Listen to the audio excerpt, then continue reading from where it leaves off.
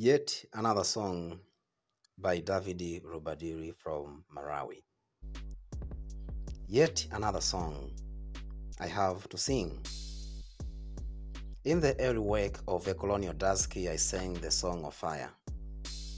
The church doors opened to the clang of new anthems and color banners.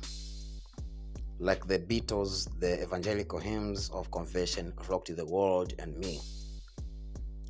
I knelt before the new totems I had helped to raise, watered them with tears of ecstasy. They grew taller than life, grimacing and breathing fire. Today I sing yet another song, a song of exile.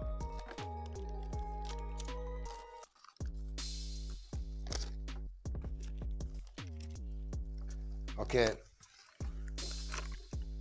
uh, ladies and gentlemen, the poem Yet Another Song shows or depicts the joy or happiness that the poet and other people of Malawi, in particular, and Africans in general, felt after gaining independence and after ending the colonial rule, which in this poem is referred to as colonial dusky. That means the end of colonial rule. Colonial rule, as you know, was exploitative and a burden to Africans. So the Africans themselves hated the system. That is why when they got independence, they were so much excited. In the poem, the poet Persona also laments about the rise of dictators. In the independent African countries, these dictators were blacks who betrayed their fellow Africans. The poet Persona says, In the early wake of a colonial dusky, I sang the song of fire. The, the, the colonial dusky refers to the end of colonialism, and the song of fire refers to the songs of happiness. You know, after gaining independence, the, the Africans celebrated much.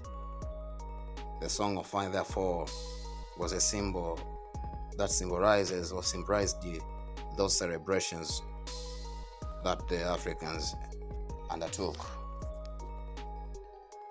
So, uh, people, as I told you, uh, the people of Africa were happy after gaining independence. They welcomed independence with happiness, with the ecstasy.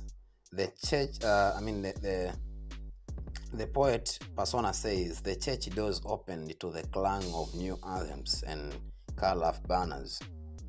The church, the church doors opened to the clang of new anthems and color banners. You see, even the church doors, even religious people welcomed, opened their doors to the entrance of new anthems and color banners. This shows how serious the matter of independence was.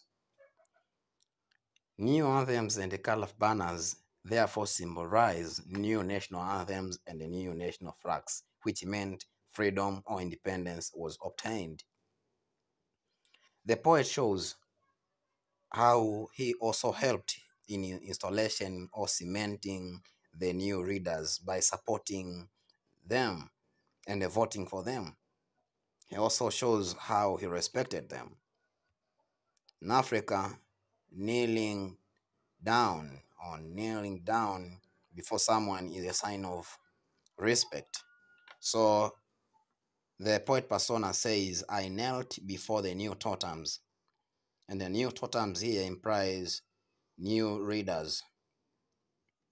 So the poet persona says, I knelt before the new totems I had helped to raise, watered them with tears of ecstasy.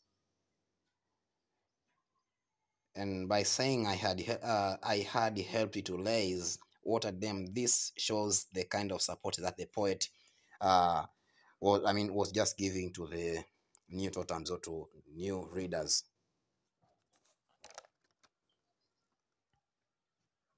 Uh, ladies and gentlemen, according to the poet persona, after intel, I mean, After entering into leadership or power, some African leaders betrayed the majority or citizens by turning to big dictators. They tortured Africans like the way colonialists did before independence. The poet Persona says they grew taller, they grew taller than life. So those new totems or leaders grew taller than life. They assumed it to be bigger than those who uh, supported them during the fight, during the, the struggle for independence, grimacing and a breathing fire. And therefore, those new totems, those new readers, they started becoming deadly, malicious to people. So, in the last stanza, the poet shows how those dictators or new readers have uh, have forced the, the poet to sing another song, and this time a song of exile. That means the poet was forced out of his country, maybe due to criti- uh, due, due to, to criticizing new readers. He's therefore disappointed by readers. As the poet writes this poem, he is maybe in another country. He is forced to go uh, out of his country. Maybe he's hunted by those new totems. Therefore, to escape from the harms that can befall him, he decides to he decides to run away. Ladies and gentlemen, as you have seen in this poem, this poem uh, speaks about discount, discontent or disillusionment, discouragement that African, uh, most African people had after independence. Because as you can see in the poem, it seems people during the struggle for independence thought that after independence things would be good. But to a, to, to a dismay, things did not have to be the way they thought. Those people they expected to help them betrayed them, and uh, therefore they were not happy with how they went on. So there is a theme of disappointment. So the phrase like, or the sentence like, uh, the one that is being spoken in the last stanza of the the last stanza of the poem that yet I sing another song mm, is a, is a, is a sentence that shows the disillusionment. But in this poem, there is also a theme of the rise of African dictators, or in other words, it can be termed as dictatorship. Uh, after independence, ladies and gentlemen, there rise different dictators. I do not want to mention them here. You can uh, try to search, uh, you know, in different sources to know what are some of the African dictators who emerged after independence. So when the poem says they grew they grew taller than life they grew taller than life this is an indicator of new african leaders changing to becoming uh, uh, dictators different from what the people expected before and the, the last theme ladies and gentlemen i would uh, speak about is separation separation. And this separation is being caused by, of course, it is a forced separation.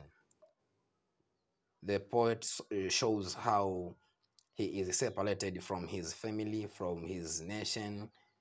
Uh, he decided to leave the uh, his own country and running uh, away from the new readers who are hunting for him. They want to to harm him. They want to kill him. So he found himself being separated by his own country. Ladies and gentlemen, thank you very much for listening. This is the end of simple analysis this poem. For comments, uh, please write down on the comment section below. But don't forget to subscribe to this channel so that you'll be able to get different uh, videos different uh, things that i post uh, in this channel. Ciao